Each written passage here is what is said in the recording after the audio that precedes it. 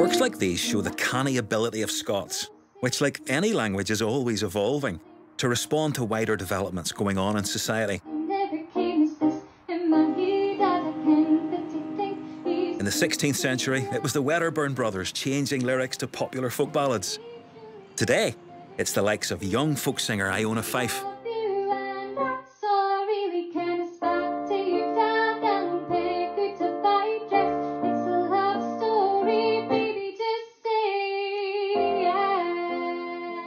Well, it's been genuinely really encouraging to us on our side of the show to see the momentum that there is in Scotland. But it's not just a momentum for old fellas like me, it's the young generation over here that is the most exciting of all. I think that Scots language has become cool again, not just because there's been this renaissance of more funding and more media attention. It's because we're looking at things like social media and TikTok and Twitter and Instagram, and folk have realised that Scots isn't just an old man playing a guitar in the back of a folk club. It's a young, thriving, living tradition that is part of a continuum that keeps ebbing and flowing, and we're making it innovative.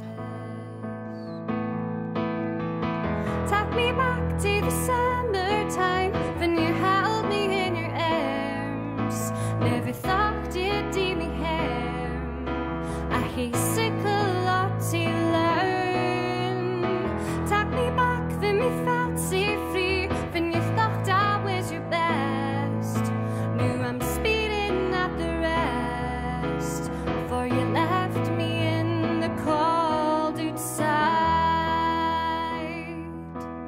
This road till we can do is getting safe.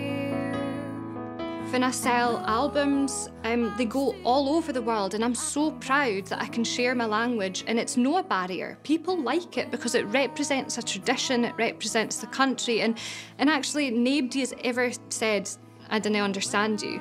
And that's no because Scots isn't a language, it's because we have mutual intelligibility, we English.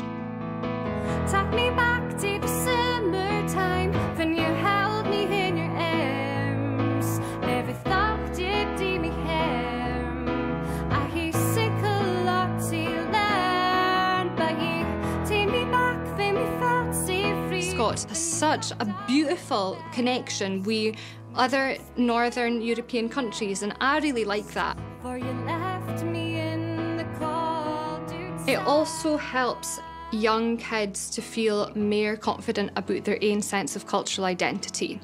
But in order to do that, we can't be shoving burns down their throats. We have to give them something that they're familiar with.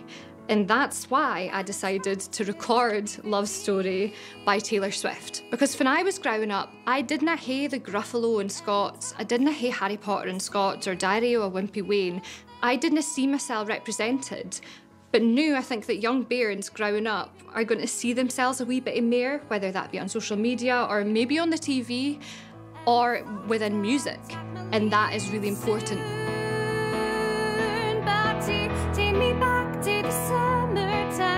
Iona recently won a campaign to get the music streaming giant Spotify to add Scots to its list of recognised languages and is passionate about fostering links among Scots speaking communities. We often think of our connection as being with the west coast of Scotland, but away up in the east where you're from, what's your perspective on, on us and what we're doing?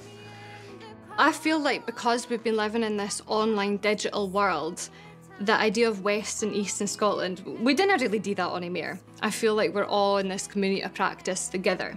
And guess what? We're all friends. This community is is an ever-changing thing, but it's a really strong thing. And I hope that there's more bridges being built to put the two all together.